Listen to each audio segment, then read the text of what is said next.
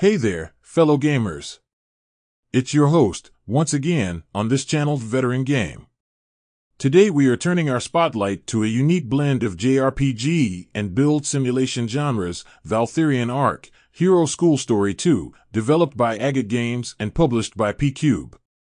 As we step into the realm of this game, you might ask, what's new in this fusion of genres? Well, that's what we are here to explore together. So buckle up, folks, because we're going on a journey to a world where you'll take on the principal's mantle in an academy for aspiring knights, mages, clerics, and arcworkers.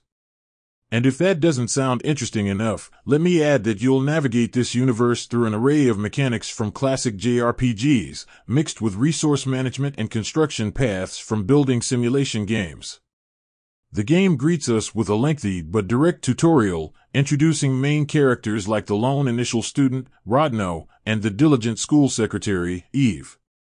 Learning new skills in this game is a unique experience, thanks to the restricted but functional skill trees. The limitation of two skills per character might seem restrictive, but it curiously adds to the strategic gameplay. However, it's worth noting that other main characters primarily serve as narrative drivers rather than adding substantial complexity to your academy development. As you journey through vibrant landscapes, ranging from mountain ranges to sprawling forests, you will appreciate the effortless character movement and beautifully detailed world design. Exploration is simplified with a dash mechanic and plenty of enemies, gold, and arcstone wait to be discovered. But beware, the game's map design may lead you on a winding path, pushing you to trace back steps to complete quests. You'll find treasure chests peppered throughout the world, enticing you with gold, arcstone, and even blueprints of certain building types. The game elegantly interweaves exploration with progression, ensuring an exciting journey. The game's timeline keeps things fresh, advancing a month with each completed quest or management action, and introducing an element of timing into your planning and activities. Visually, Valthirian Arc is a vibrant spectacle, replete with smooth character movement in the open world and stunning anime-based character designs.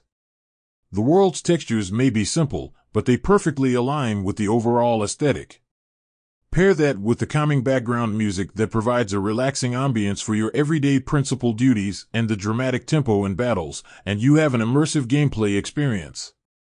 That being said, the menu system does remind one of an expanded mobile game, with a linear structure that might benefit from added complexity.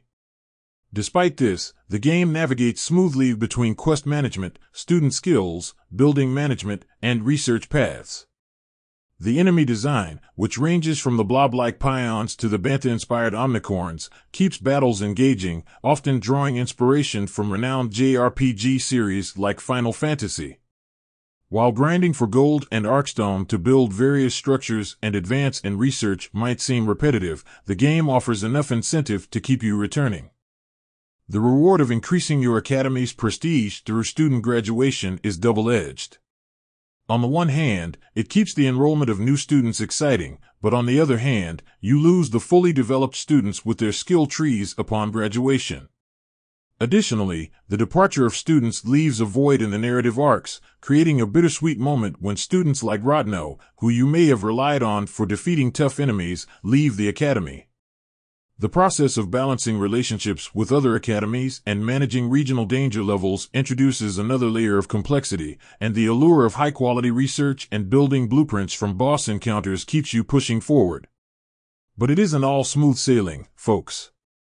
During my exploration, I encountered a few issues, including a game crash and a creature quest that started me in a location devoid of the specified creature. However, these glitches were sparse and did not significantly disrupt the overall quality of the game. In essence, Valthirian Arc beautifully ties the building and research management loop with the open world questing and gameplay, making the process of graduating students season after season an achievement to be proud of.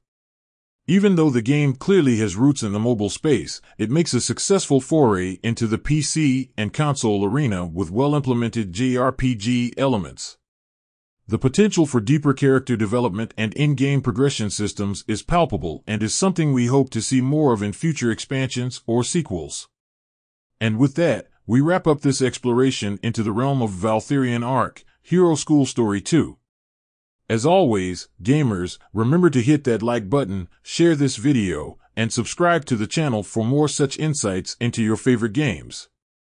Until next time, happy gaming.